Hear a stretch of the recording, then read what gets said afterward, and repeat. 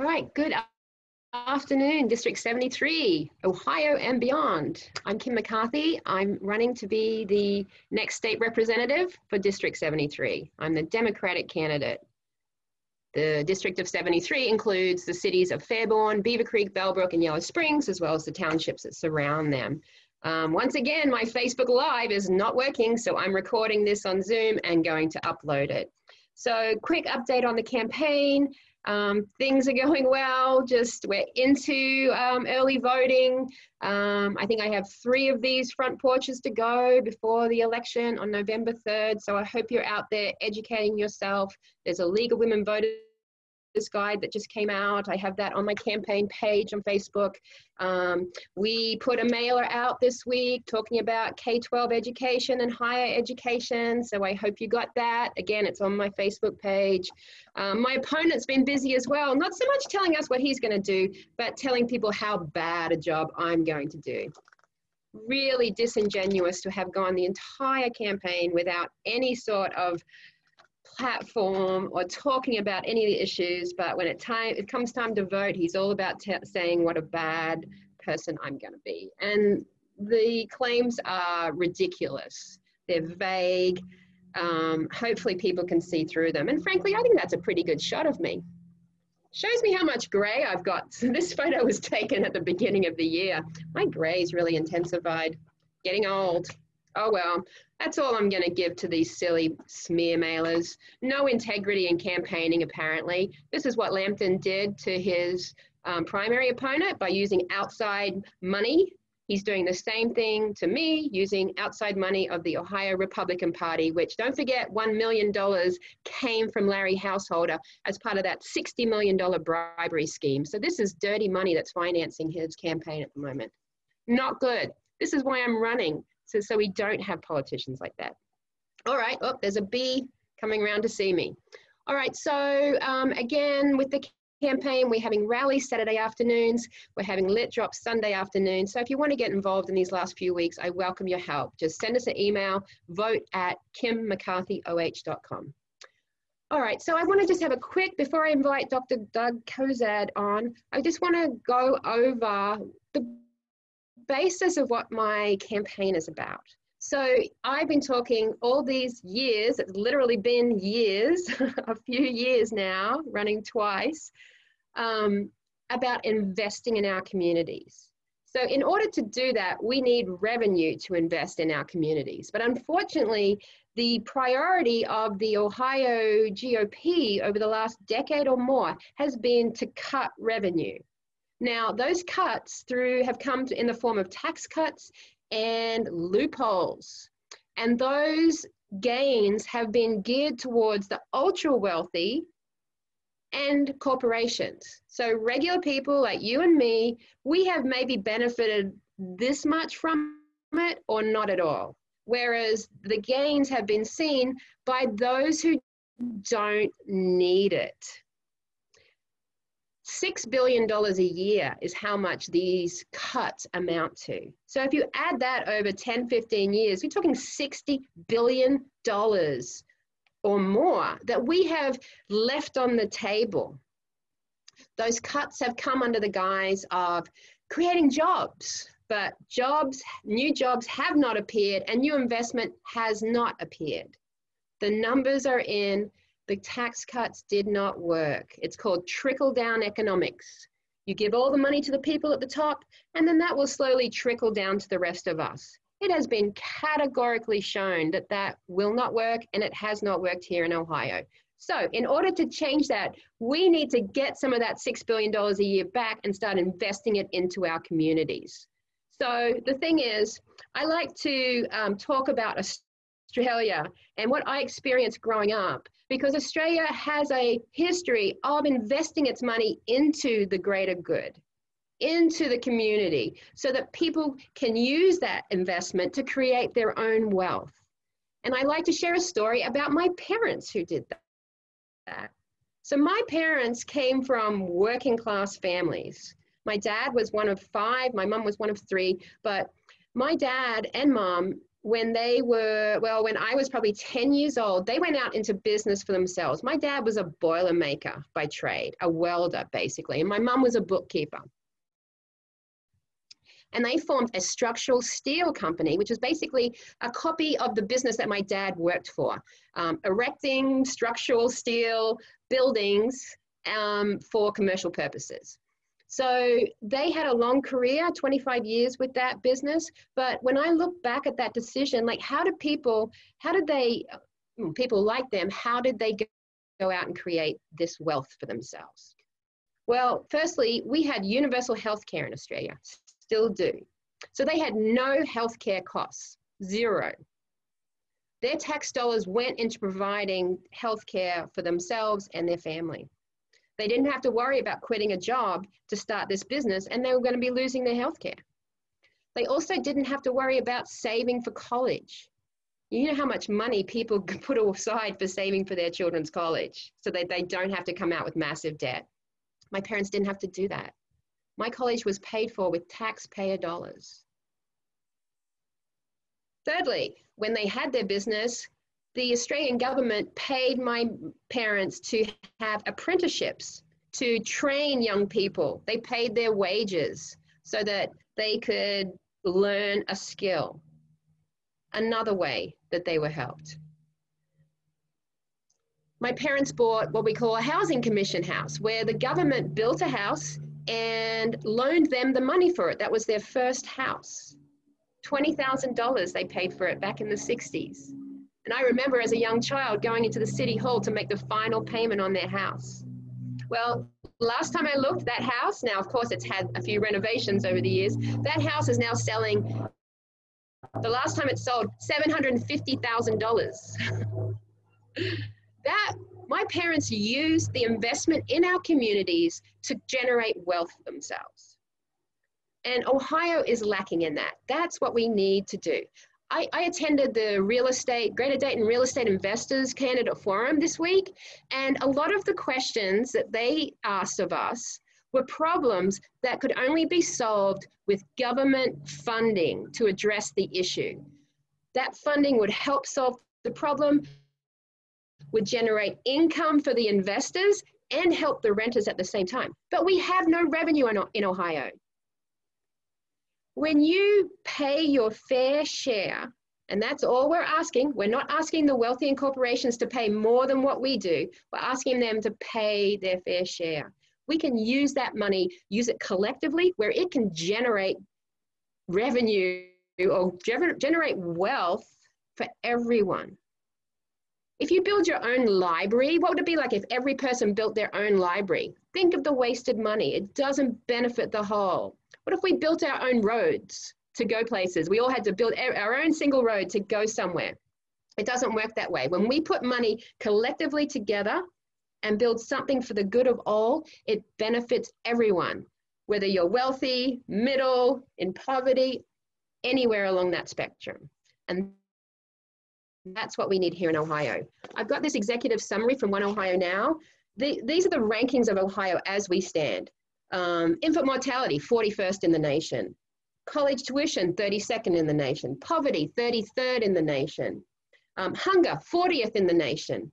Overdose deaths, 49th in the nation. Now, this is 2018. No doubt it's changed over the last two years, but we are failing as a state to keep up with everyone else. And it's because we're not investing in our public services, because we don't have the revenue, because we've given it away to the ultra wealthy and corporations.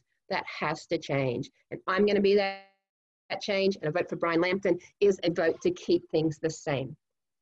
That's all I got. All right, I'm going to bring in Doug. I'm going to have to tell him that it's not live. Hello, Doug. How are you? Great. How you doing, Kim? Good, good. I just have to tell you, um, the live stream wouldn't work. I've had this happen a couple of times. It's technology, so I'm recording this and I'll just okay. upload it to the page when we're done. Okay, no problem. So um, I'd like to welcome Dr. Doug Cozad. He's the superintendent of Bellbrook Sugarcreek Schools, my home district. And I just invited him on here today because obviously the funding of schools is something that's very important to me. Um, education should be a priority in our state.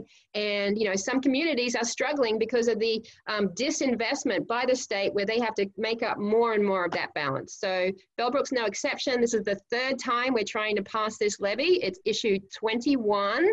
And thanks for coming on, Doug, to talk about it. You're welcome. Thanks for having me. Of Glad to be course. here. Yeah. Good.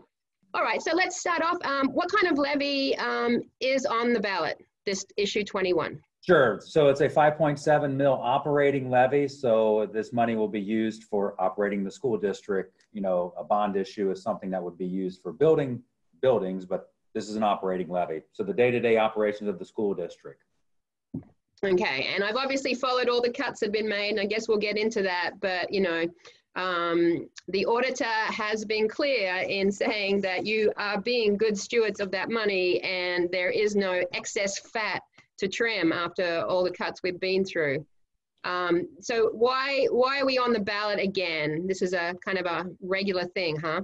Sure. So the- reason why we're on the ballot again is because the need has not gone away. And so, you know, it's up to the school district to determine its need, then it's up to the voters to determine if they're going to meet that need or not. And so the way that uh, schools are funded in Ohio, especially a school district like Bellbrook, which has a high property wealth um, community, that we get a lot less funding from the state than other communities do. So not nothing against the other communities. However, um, you know, we only receive about 27% of funding from the state. And actually, with the recent reductions from the state, so they came in and reduced us even more. So we, we were reduced over a million dollars from end of last fiscal year to this next fiscal year. So really it's, you know, it, it's, it's up to each community to decide what kind of schools that we have. And, and so it's up to this community to decide that, you know, the state is not at this point, um, really has not uh, stepped up to, to fund school districts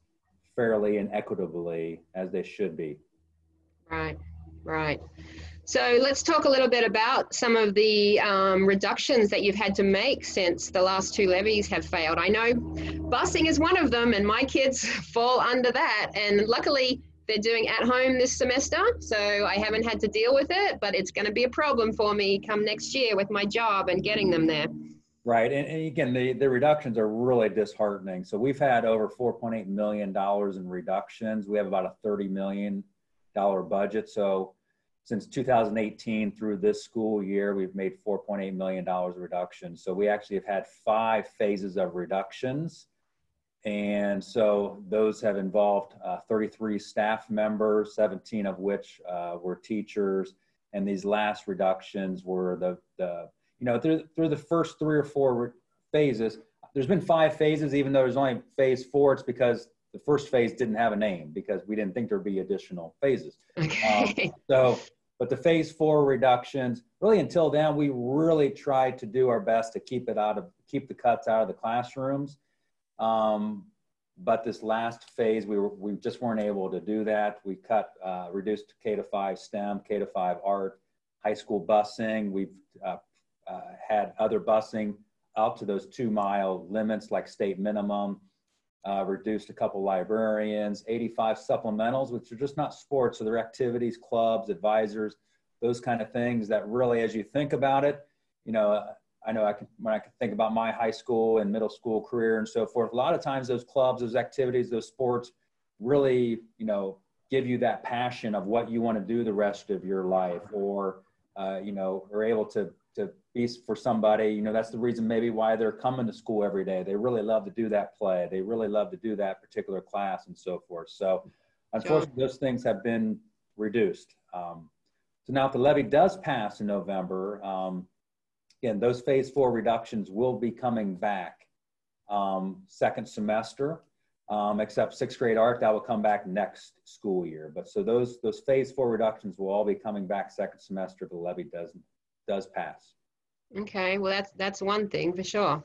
Um, and then what if it fails? So again, if it fails at this point, um, there's no additional immediate reductions, but really what it does, uh, it really heightens the, the uh, decision making of, you know, before you know, we were really education first and then the finances second. But what it really does is it, it forces us to make every single decision based on finances and education second. And so mm-hmm. obviously we've been good stewards of the money. We've been balancing those, but really it, it flips those to, you know, all those uh, extra programs or, or extra opportunities for their students. We just won't be able to explore those and have those going forward. Right, right.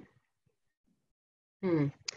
All right, so you know, I, I, see a lot of complaints about um, the increases um, on our property taxes, um, but I do know that we don't have um, any kind of a school income tax um, like other communities do. So how do how do our taxes compare overall to surrounding districts or similar districts? Sure. So again, this information is in in the bridge. It was in the bridge a couple years ago. It's in the bridge. It's just coming out. Some people may have already received the bridge. Um, costs, and you add up your real estate taxes, your income tax of of city and for school. Some some school districts do have a school income tax. In our community, Bellbrook and Sugarcreek Township, there are no income taxes.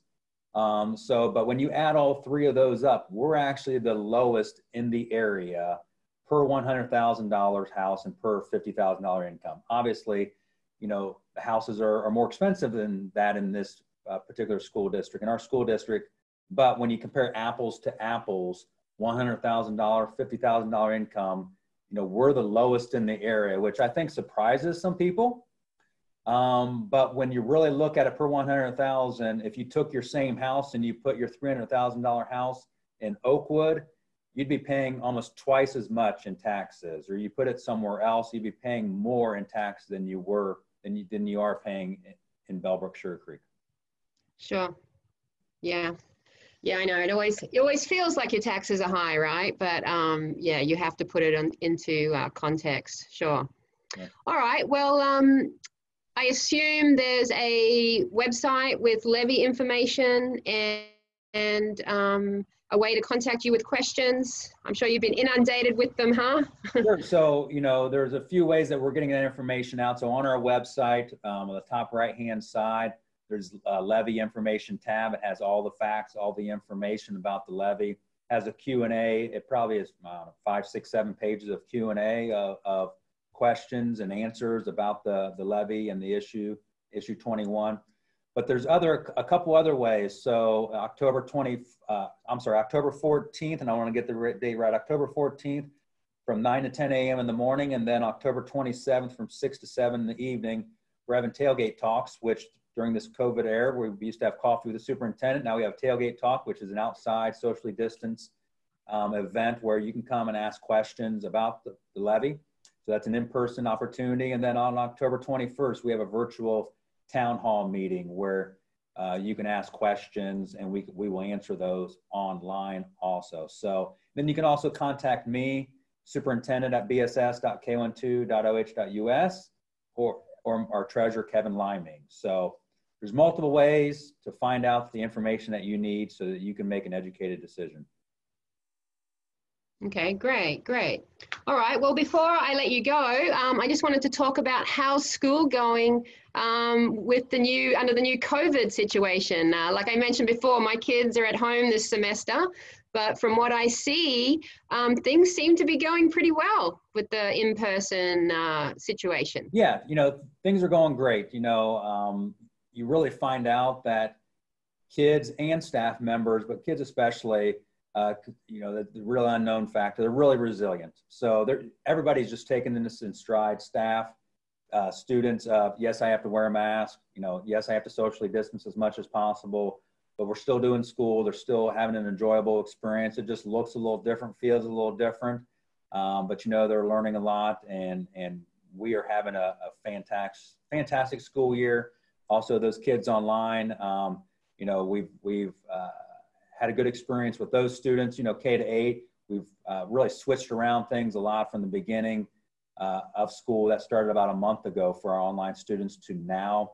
Again, this is the first time that we really, in like other school districts, first time we really have taken on an online um, learning model on mass scale like this. So a lot of learning going on at the beginning there, but we had a growth mindset and looked at opportunities for growth. We had a lot of great feedback from parents, and we've made a lot of changes to have the most positive student experience, whether you're online or whether you're in person. So, you know, it's a partnership between everybody to have a successful school year. Yeah, that's good. That's good. Well, I know my guys are looking forward to uh, going back in, in the new year. they weren't very happy with me that I made them stay home, but um, you know, if if some of our kids didn't stay home, then it may not have been um, as successful. So hopefully, right. this time sure. um, and the extra space, by the time we all get back together in January, uh, it'll all be good. So definitely. All right. Well, thank you so much, Dr. Cozad. I appreciate you coming on, and um, best of luck with the yes the rest of the year and the levy. All right. Thanks. Good luck to you too. All right. Thank you. Take care. All right. Bye now. Bye.